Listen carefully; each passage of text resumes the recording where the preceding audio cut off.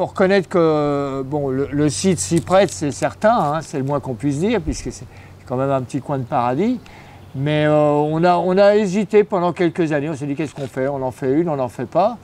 Et puis c'est vrai que le contact avec Diffasure, euh, on, a travaillé le, projet ensemble par rapport au site. Et je crois que bon, ça, il suffit de regarder. Hein, elle est particulièrement bien intégrée. Maman qui a toujours été euh, nageuse. Hein. Les années passant, elle ne peut plus descendre euh, dans la mer parce que c'est une crique un peu escarpée.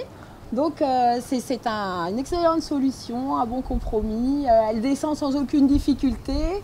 Alors Mindy, elle, elle, apprécie aussi, surtout les, abords, elle fait tout le tour. Alors quand on se baigne, elle nous fait la fête et tout. Non, mais pour elle, c'est un, un, bon petit point. Voilà. Par contre, ce qu'on ne voudrait pas, c'est qu'elle la boive Heureusement, c'est pas trop chloré, comme c'est un système sel. Euh. Mais c'est vrai qu'elle a tendance à boire dedans. Alors ça, on va lui interdire. L'idée était bonne, la forme, tout ça. Donc on a eu des conseils en amont et puis dans la réalisation, ça s'est très bien passé. Donc on, est satisfait. On est satisfait.